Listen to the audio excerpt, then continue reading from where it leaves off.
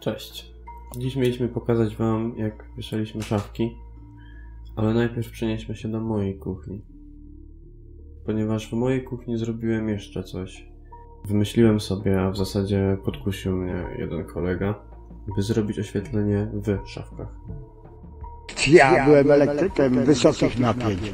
I na to zeszło mi bardzo dużo czasu, ponieważ musiałem wyfrezować kanałek pod profil. Każdej półce, gdzie miało być oświetlenie, doprowadzić kabelki. No jak saper raz się myli, nie? Musiałem zatopić taki właśnie profil z kloszem, e, przykleiłem go na mamuta. Tak właśnie wygląda proces e, frezowania. Bardzo żmudna robota, zważywszy na sprzęt, jakim dysponowałem, jaki kupiłem. Chciałem, żeby to też jakoś wyglądało, więc też się starałem bardzo, żeby tam była ta linia prosta przy frezowaniu. Mimo podłączonego odkurzacza bardzo dużo kurzu wszędzie dookoła. I tak się właśnie prezentuje owa półka. Profile sobie wklejałem po złożeniu już całego korpusu. Dodatkowo trzeba było wyfrezować takie kanałki z boku korpusu, gdyż trzeba było doprowadzić kable do taśm LED, a z przodu umieszczałem taki, te, taki sterownik działający trochę jak światło w lodówce, czyli, czyli jeżeli spotkał coś na swojej drodze, w tym przypadku akurat e, front, to wyłączał światło. Tutaj jeszcze ujęcie na całe to podłączenie, oczywiście taśmę wklejałem, jak już się upewniłem, że wszystko działa. Od każdej taśmy LED idzie kabel, one się spotykają na środku, stamtąd idą do e, tego sterownika, tego wyłącznika zbliżeniowego i od tego wyłącznika idą właśnie do tyłu, do, do tyłu mebli, gdzie właśnie były kręcone wszystkie szafki e, poskręcane razem, mm, w sensie wszystkie obwody i stamtąd do zasilacza od mm, taśm i do zasilania głównego, takiego z gniazdka. Po podłączeniu tego na krótko sprawdzamy sobie układ. E, Jak widzicie taśma normalnie świeci, gdyż czujnik nie ma żadnej przeszkody. Zasłaniamy sobie go ręką, taśma gaśnie, czyli wszystko działa tak jak powinno być. I jeszcze małe ujęcie, jak dużo korpusów wymagało takiego frezowania. Ile po prostu tym roboty. No i gdy już korpusy wszystkie poskręcane i pofrezowane, to przyszedł czas na wieszenie szafek. Okap cieliśmy taki ukryty w szafce, on był po lewej stronie w tej najszerszej takiej e, szafce wiszącej oczywiście na dole. Mm, Dlatego rurę musiałem poprowadzić e, szafkami do tego otworu wentylacyjnego w ścianie. Przyznam się szczerze, że do tej pory jeszcze tej, tej rury nie zabudowałem, chociaż miałem to zrobić, ale cały czas jest później, później i już tak się przyzwyczailiśmy po prostu, ale nie wykluczone, że kiedyś to zrobię. I tak wygląda gotowe ustawienie. Wiadomo, gdzieś jeszcze nie ma blendy, gdzieś jeszcze nie ma frontu, yy, za to pojawiło się oświetlenie pod szafkami. Tutaj w tej narożnikowej szafce doszła płytu indukcyjna, pod nią yy, znalazły się szaf- szuflady ukryte, doszły również chwyty, cokoły, ale to już zobaczycie w odcinku z finalnym efektem. Tak to prezentuje się z daleka. Y, Tu jeszcze znalazł się front na lodówkę i tyle. Ja mówię, chłopie, coś ty zrobił. Panie, tak się nie robi.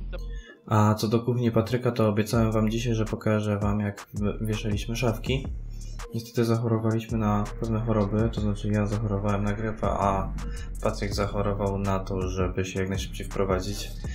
I trochę mu się nie dziwię, ale no nie miał głowy, żeby tam uwieczniać każdy swój postęp prac. E, dlatego mam z tego e, przedsięwzięcia tylko kilka zdjęć, natomiast na otarcie łez pokażę Wam, jak składaliśmy dużą szafę mm, w przedsionku i drugą podobną w korytarzu. Najpierw położyliśmy sobie wieniec dolny, przykręciliśmy do niego nóżki. E, nóżek nie można żałować, nie, na pewno nie używa się 4, bo zrobi się banan, więc wydaliśmy 6, a potem docelowo nawet 8, bo i tak stwierdziliśmy, że będzie mało.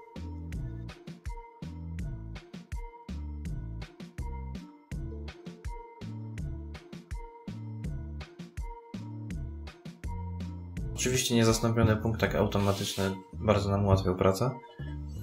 A komu to potrzebne? Komu to potrzebne? Właśnie. A dlaczego? Dlaczego?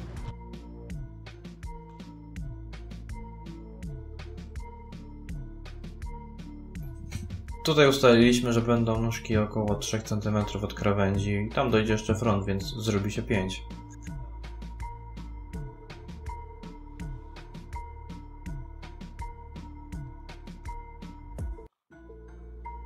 Przykręcamy. Wybraliśmy nóżki 60 mm bez blendy. A komu to potrzebne? Komu to potrzebne? Właśnie. A dlaczego? Dlaczego? Całość odwracamy na nogi.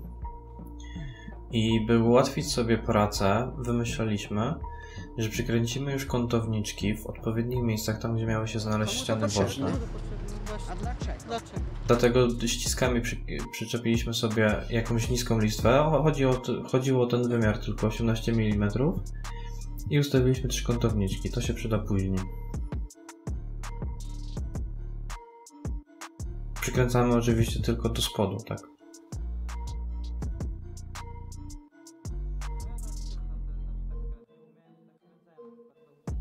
Prawej strony to samo łapię sobie ściskami. A komu to potrzebne? Komu to potrzebne? A Właśnie. dlaczego? Dlaczego? kilka kątowniczków, przykręcamy do dołu i mamy zachowaną już tą odległość 18 mm od krawędzi.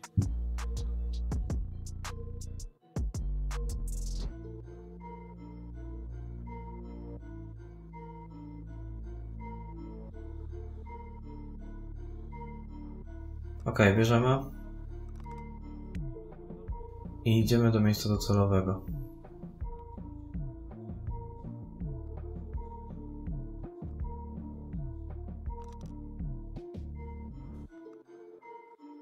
Na szczęście coś, czego bałem się najbardziej, czyli wcześniejszych pomiarów, czy je na pewno dobrze wykonałem, czy wszędzie są odpowiednio zachowane e, luzy, czy gdzieś ściana nie była krzywa. Ja mierzyłem akurat w tym większym miejscu.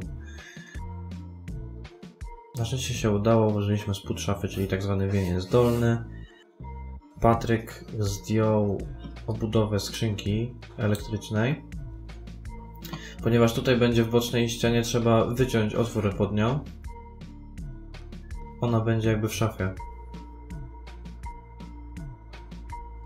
W tym czasie bierzemy sobie płytę, która będzie na górę szafy. Ponieważ zrobię to samo, przykręcę kątowniczki w odległości 18 mm od krawędzi, czyli dokładnie to samo, co robiliśmy na dole. I znowu ściski.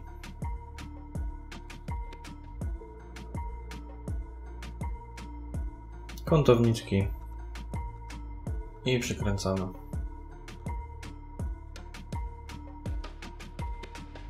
W międzyczasie ciekawostka, ponieważ ostatnio myślę, żeby zająć się tym trochę bardziej na poważnie i mieć z tego jakieś pieniądze. Dajcie znać, czy chcielibyście osobiście u siebie takie meble e, właśnie w takim wykonaniu. Wszelka konstruktywna krytyka też mile widziana, chociaż może też lepiej wstrzymajcie się do następnego filmu, bo już w następnym filmie zobaczycie efekt końcowy dwóch kuchni właśnie, mojej i Patryka.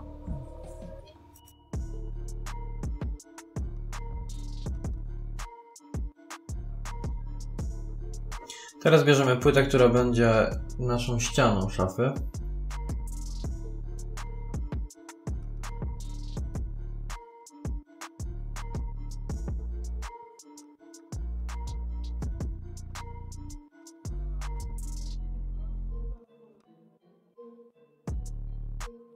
Stawiamy ją.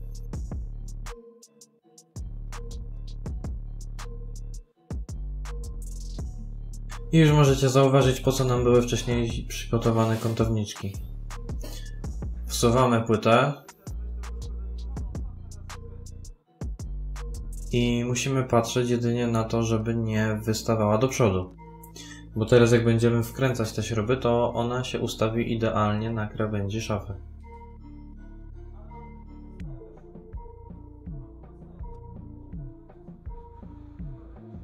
Podobnie robimy z drugiej strony, z tym, że tam musimy wyciąć najpierw pod tą skrzynię. Wymyśleliśmy e, to w ten sposób, że w e, miejsce po śrubach od odkręconej obudowy e, wkręciliśmy takie naostrzone wkręty, które odbiją nam cztery punkty na płycie,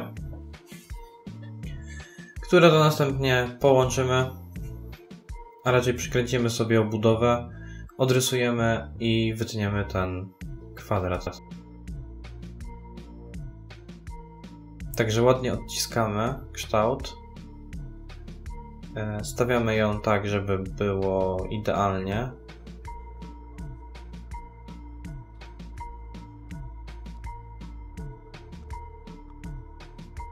I musimy wyciągnąć płytę na stół.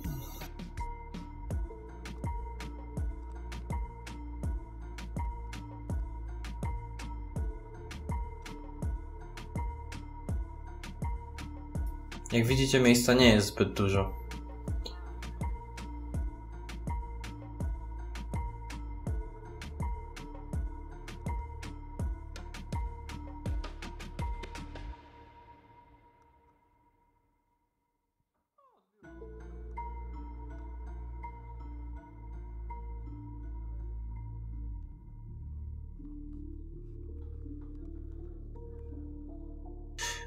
Mówiłem, odbiło się cztery punkty, do których Patryk przykręcił teraz e, plastikową obudowę.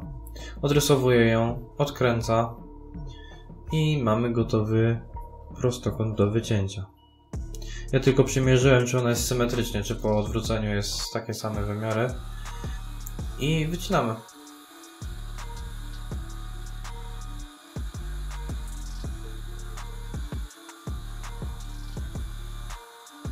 Niestety nie mieliśmy zagłębiarki, stąd musieliśmy sobie radzić zwykłą piłą. Dlatego też bardzo powolne cięcie, żeby nie wyrywało materiału, żeby nie powstawały takie brzydkie odpryski.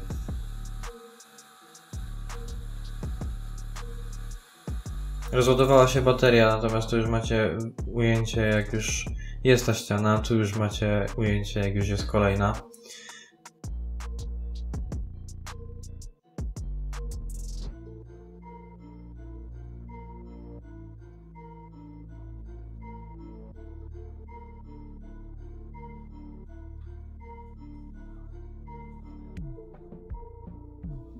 To jeszcze ujęcie na właśnie jak ładnie wyszła nam ta skrzynka.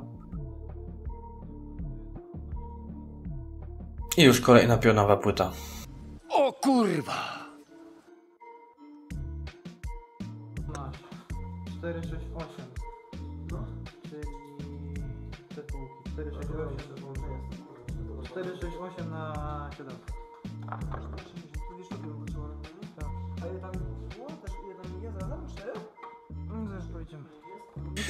Teraz wkładamy sobie półkę, żeby zrobić dystans, odpowiednią odległość. E, po prostu wkładamy półkę i dociskamy. Ścisk zrobi swoje i będziemy przykręcać kolejną pionową ścianę.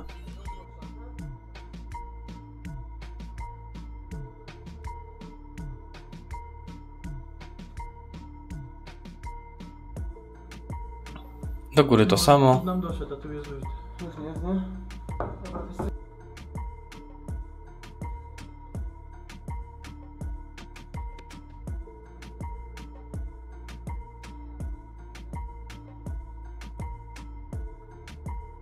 I tutaj już wszystkie kondygnacje. Zostały tylko półeczki e, poziome. I tutaj kolejna szafa na korytarzu. Ona była ciut inna. Tutaj macie zdjęcia z etapów prac. Podobna zasada. Tylko prościej, bo jest otwarte pomieszczenie. A teraz wróćmy do naszej kuchni. I tutaj widzicie, jak e, są wstępnie ustawione już te korpusy. Jeszcze bez frontów, bez niczego, bez blend, bez dodatków. Po prostu su suche, surowe korpusy. Tutaj jeszcze Patryk odsuwał te szafki, robił płytki pomiędzy tak zwanym fartuchu, pomiędzy szafkami. I tutaj już gotowe meble, jeszcze z nieodklejonymi foliami na frontach. Mniej więcej jeszcze tam się przebija jaki kolor jest frontów. E, natomiast pozostał jeszcze blat do wymierzenia i parę dodatków. E, tutaj widzicie teraz jakie będą uchwyty jeszcze, takie krawędziowe wybrali. Oczywiście wszędzie ciche domyki.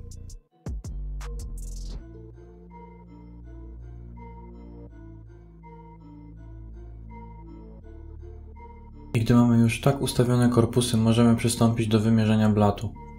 Korpusy powinny już stać na tip-top, to znaczy no w miejscu docelowym. Po to jest tam szczelina z tyłu 5 cm, to znaczy w niektórych przypadkach będzie to 4,5 na przykład, a w niektórych 5,5, bo ściany nie są zawsze ide idealnie równe. Ale to właśnie Ta szczelina nam to niweluje. Blat możemy dociąć w ten sposób, żeby właśnie to zniwelować i żeby nie było nic widać gołym okiem. Dlatego warto postarać się i pomierzyć to dokładnie. Co też zrobiliśmy. Blat za nasze korpusy będzie wystawał około 4 cm i znowu, jeżeli będzie to w niektórych przypadkach 4,5, to też się nic nie stanie, zależy od sytuacji.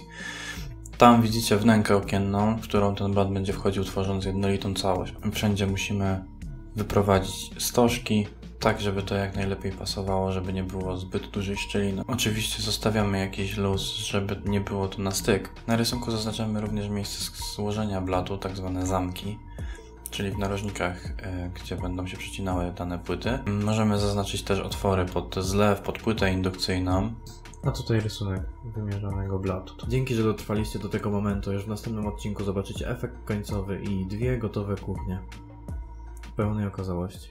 Jeżeli Ci się spodobało, to zasubskrybuj, zostaw lajka, komentarz. Algorytm lubi to. A komu to potrzebne? Komu to potrzebne? Właśnie. A dlaczego? Dlaczego?